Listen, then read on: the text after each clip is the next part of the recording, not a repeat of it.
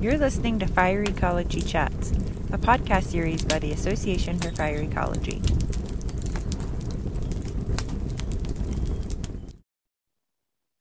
Good morning, everybody. My name is Bob Keane. I'm the editor of the journal Fire Ecology, a journal that is managed by AFE and Springer Nature is the publisher. Today, we're going to be talking about a very interesting paper that has to do with prescribed fire, wildfire, and its impacts on birds. I'd like to introduce Quresh Latif, Vicky Saab, and Jonathan Dudley to our program today to talk about the paper Prescribed Fire Limits Wildfire Severity Without Altering Ecological Importance for Birds. Quresh, could you please introduce yourself, your affiliation? Sure. My name is Quresh Latif. I'm currently working for Bird Conservancy of the Rockies. When doing the work for this paper, I was working with Vicky at Rocky Mountain Research Station, and I consider myself a quantitative ecologist, mostly experienced with birds. And Vicky? Hi, my name's Vicky Saab. I'm a semi-retired research ecologist. I worked with Rocky Mountain Research Station for over 30 years and studied the bird demographics in relation to large scale disturbances of wildfire, land management, bark beetle outbreaks. Last, John. Yeah, hi, I'm John Dudley, and I'm an ecologist with the Rocky Mountain Research Station located in Boise, Idaho. And my role with this project was to oversee field operations and data management. Thank you, all three. Let's dive right into the paper. Quresh, can you tell us about this paper in general? Yeah, this paper started out with a study at the Payette National Forest looking at the effects of prescribed fire, where there were some study units laid out and surveys done before and after prescribed fire. And fortuitously, wildfire came along several years after the prescribed fires. So that allowed us the opportunity to look at the serial effects of prescribed fire and wildfire. And also that allowed us to compare responses to wildfire in places that had previously been treated by prescribed fire or not. And interestingly, the birds responded to wildfire similarly in both those contexts. It's incredibly opportunistic to jump on wildfire after a prescribed fire is burned. Vicki, tell us what types of birds were you looking at in these areas? We studied small land bird communities of songbirds and woodpeckers. And we had predictions about how different species would respond to both prescribed fire and wildfire based on their life history characteristics.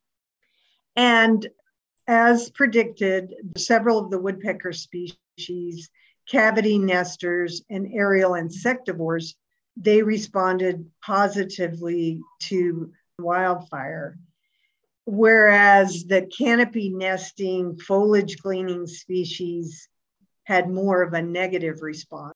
And interestingly, the wildfire affected more species more consistently than did the prescribed fire. So even though the prescribed fire reduced the high severity fire, those same species that respond positively after wildfire were still responding positively. John, what are the primary differences between the prescribed fire and wildfire as far as bird habitat is concerned? Well, I think Partly it would be as you would expect. The prescribed fire did not have the same intensity as the wildfire and occurred before the wildfire. So you can imagine, you know, a patchy effect across the hill slope for the prescribed burning.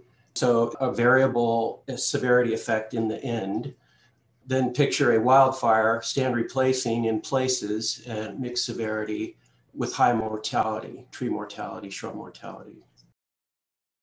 Okay, yeah, that might explain some differences. So, Quresh, you mentioned that there were a prescribed fire, a wildfire, and there was a place where wildfire and prescribed fire both happened. Yeah. Were the bird responses the same in those three cases or just two? So responses to prescribed fire were pretty muted. There weren't there were only two species that responded uh, in a statistically supported level to prescribed fire. So prescribed fire effects in other studies there they can be stronger, but really the prescribed fire, even though it wasn't a big response by birds, it did limit the severity of the subsequent wildfire. And so really the paper is focused on comparing wildfire with wildfire responses rather than to prescribed fire. We kind of know that prescribed fire and wildfire are different. So there isn't a big focus on comparing the responses to, to those two different types of fire. It's more about comparing the response to wildfire in the situation where the area had been previously treated by prescribed fire or not. Oh, I see. So, Vicki, what do you think this means overall to land management? Does this mean that fuel treatments can achieve what wildfire does, or do we have to manage with kind of both of them in, on the landscape? prescribed fire is not a substitute for wildfire.